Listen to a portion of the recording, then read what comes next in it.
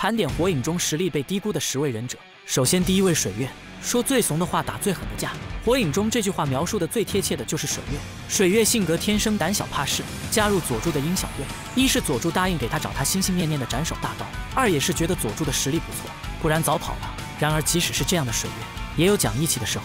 在鹰小队低估八尾人助力奇拉比的实力，差点全军覆没的危机关头，正是水月一人力挽狂澜，将自己的身体融入水中，化身为水怪，硬生生扛下了八尾尾兽炮的全力一击。虽然被打成了果冻，但是并没有死去。之后无影会谈跟着佐助对付雷影的时候，水月嘴上说着佐助是不是太疯狂，手上的斩首大刀却没有一点犹豫，冲在了最前面。刚最猛的雷影，第四次忍界大战，面对历代火影的复活归来。要准备去支援联军作战，胆小的水月就想开溜，结果还是被拉着一起去了。战场上他依旧勇猛，一水枪打懵会木盾的涡卷白绝，冲破木盾拦截去就被扳捅死的佐助。所以水月的实力其实没他自己想的那么弱。国人传中打打蒙皇这样的木叶上忍轻轻松松。第二位志乃，志乃一直都是木叶十二小强中最低调的，出场也低，所有忍术都和虫子有关。五盾忍术他一个不练，初时觉得他的实力很是一般，无非就是虫子而已。然而他却将虫子忍术玩出了花，不仅能用虫分身迷惑敌人，还能将虫子附着在自己的体表进行防御，或者组成盾牌。这跟我艾罗的绝对防御有得一拼。而且他控制虫子的数量是没有限制的，虫子再生速度极其快。第四次忍界大战中，志乃还研究出新型虫子寄大虫，瞬间就分食了一只小怪兽。所以志乃的实力绝对是被低估了，被岸本低估。这虫子要是多来点，把石尾吃掉也不是问题。没了石尾，看后面带土以及斑还怎么发动无限阅读。第三位景野。景野的实力单看情况跟鹿丸一样，两人都不是主攻型选手。景野擅长的是精神忍术，战场上他能强行操控敌人的身体去战斗，唯一的缺陷就是本体会陷入沉睡，这在战斗中是很危险的事。所以景野的新转身之术往往都要配合鹿丸和丁次来用。景野的招式再上升一步，其实就是加藤段的灵化之术。第四次忍界大战，他连拥有轮回眼的带土都能短暂控制，像金角这种级别的狠人都难以抵挡他被入侵进身体。第四位宇智波富岳。实力被整个木叶高层以及又低估。自从班离开木叶之后，宇智波一族就备受木叶排挤。最大的原因就是没有能主持大局、为一族争取话语权的强者，最后一而再、再而三被排挤到了村子边缘。一直到了富岳这一代，宇智波一族才有了造反的底气。可惜的是，不仅木叶高层，就连鼬以及止水都不认为富岳能成功。这也是鼬选择灭族的主要原因，因为在他看来，这种无法成功的革命只会消耗木叶的实力，让敌村势力有机可乘，所以他才决定灭掉一族。但我觉得傅月的实力绝对不简单。作为一名开启万花筒却隐忍多年的宇智波族长，在各种家族秘术对他都是敞开的情况下，这么多年不可能白活。底牌有多少没有人说得清，起码应该不比鼬差吧。一邪那岐、一邪那美肯定都知道怎么用，所以如果当年止水又都和他联手，造反大业成功率还是相当高的。不过傅月败也败在太过于隐忍，以至于家族成员都失去了信心，又都是在他快造反的时候才发现他有万花筒，但不知道他的实力。团藏一逼迫，心一狠，就做出了选择。等傅月发现的时候，整个家族的高手都被灭亡了。这时候的傅月应该也很无奈，索性只能成全了自己的儿子佑。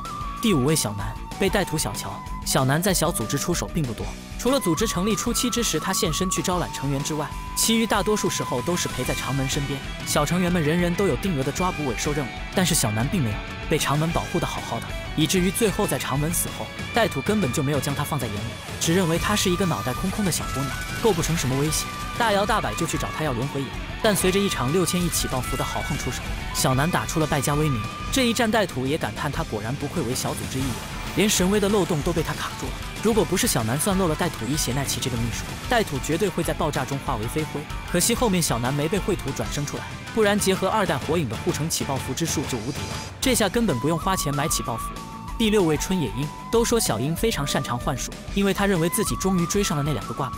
但其实作为一名普通人，小樱能将实力提升到这个地步已经非常不简单了。这一点可以在天天和景野身上体现出来。身为女忍，她们也都曾以纲手作为自己的人生目标，但最后能做到这点的也只有小樱一人。小樱的实力的确不如鸣人佐助，她没有六道之力，也没有血迹仙剑，但是和纲手相比，小樱的实力绝对不会输给自己的师傅。不管是忍术、体术还是医疗忍术，纲手会的小樱都会。虽然她没有千手一族的血脉加持，但阴封印这个秘术足以弥补。而且小樱的优势是更年轻，身体也轻，不需要特意花费多余的查克拉去维持身体。第四次忍界大战打到最后，辉夜出场，小樱的查克拉都还能支撑带土的双神威全力发动了五次。在最终封印辉夜的战斗中，他也发挥了自己的作用，没他那一拳还真不行。另外，木叶所有女忍，我觉得小樱的实力应该能排在第一位。第七位鹿丸，鹿丸目前是八代代理火影，不过他的实力却遭到了大家的质疑。在大家眼中，鹿丸不过只是智商上有优势，战斗上表现一般，不足以胜任火影之位。但我觉得他的影子束缚术其实是不一般的。的确，鹿丸在对付能随意吸收对手忍术的大土木之时，确实没有什么优势。但这点木叶十二小强除了主攻体术的小李之外都差不多。当年鹿丸还是中忍的时候，凭借影子忍术就完成了单杀飞段，这个战绩一般人难以做到。第四次忍界大战开启之时，他的影子束缚术已经强大到能随意控制多有野的通灵三。哪怕是九尾化的金角被他用影子定住，也难以挣脱。所以我觉得鹿丸的实力是被低估的。另外，鹿丸最适合的是打辅助，冷不丁给敌人来一下就能辅助队友完成绝杀。第八位大蛇丸，在很多忍者眼里，大蛇丸不过只是一条赖皮蛇。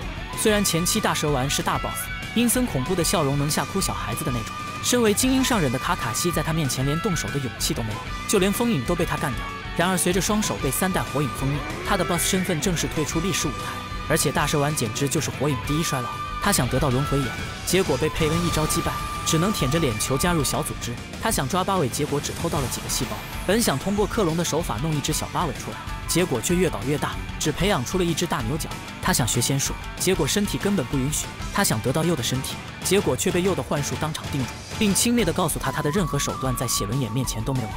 最后大蛇丸只能退而求其次，将目光放在佐助身上。然而在阴忍四人众护送回佐助的时候，他只要再坚持一下，就能转生到佐助身上。结果运气就是这么衰，他已经提前随便选了具躯体，这下想要转生只能再等三年。最后好不容易培养了佐助三年，结果佐助趁他病要他命，煮熟的鸭子就这样飞走了。大蛇丸还自以为留下的后手没人发现，却不料一切都在鼬的算计之中。鼬和佐助大战的时候，看见这兄弟二人已经油尽灯枯，本来一向行事小心的大蛇丸竟然自大了起来。结果被鼬的十拳剑一剑封印，所以这样的大蛇丸在众人看来似乎就挺弱的。不过再次被复活之后的大蛇丸就不一样了，能利用不施转生卡死神棒，无伤使用尸鬼封禁，绘图转生能强行控制二代火影，而且拿回双手之后，这意味着大蛇丸想要施展什么术都不用再受限制，连尸鬼封禁这样的封印术他都能破解。在这方面，大蛇丸绝对是天才。如今博人传中，鸣人佐助的实力都被削了，唯独他依旧神秘，实力还更为强大。人造仙人模式都能做，而且他还是火影中唯一长生的存在，所以理论上只要大蛇丸活得够久，忍界迟早他最强。第九位药师兜，药师兜并不是普通人，他是纲手承认的天才。三忍大战的时候，哪怕是纲手用医疗忍术将他手和脚的神经颠倒过来，他也能迅速调整，获得百分之八十的正常行动力。而且初期的时候，其实大蛇丸也在防备和试探药师兜，不过药师兜从未有当老大的心，所以后面大蛇丸还将绘图转生也交给了他，并且咒印的各种研究都交给了他。还带他一起到龙地洞去转了一圈。最后大蛇丸失去双手之后，所有一切实验都是通过药师兜之手去实施，所以这一切都注定了药师兜如果想变强就一定很难。原本他被木叶抛弃之后，就只想好好跟着大蛇丸为非作歹，只是他没想到的是大蛇丸竟然死了，药师兜失去了主心骨，失去了存在的意义。他想向鸣人示好，将调查到的小组织情报都给鸣人，可木叶根本没人相信他。看见鸣人身边有众多同伴，而自己只有孤身一人，所以受到鸣人的刺激。药师都这才燃起了做主角的动力。精湛的医疗忍术让他为自己完美移植了香菱水月的能力。逆天的运气让他学会了大蛇丸当年都无法学会的仙人模式。大成的绘图转生让他随意召唤曾经自己高不可攀的强者作为棋子。而离真正的强者药师都现在差的就是一颗坚定的心。而这又也给他送来了。一邪那美之下走一遭，药师都找到了自己存在的意义。这样的药师都如今在木叶虽然从未出手，但是绝对算得上是木叶隐藏大佬。第十位香菱，香菱虽然只是一个奶妈。一身能力全在奶上，感知能力超强，辅助技能全是满星，但在战斗方面，她可以说不是零也约等于零了。不过在第四次忍界大战中，香菱觉醒了漩涡一族特有的能力金刚封锁，这意味着她的实力得到了大幅度提升。而且香菱的查克拉量应该是比较恐怖的，毕竟不仅可以给同为超级奶妈的纲手治愈和充能，还可以自己奶自己。这查克拉量配上金刚封锁，应该少有人能敌了吧？一般的尾兽、通灵兽都可以随意封印。以上就是火影中那些实力被低估的忍者，你觉得还有哪些呢？好了，今天的内容就到这里了。我是永代妹，欢迎关注我的频道，我们下期再见。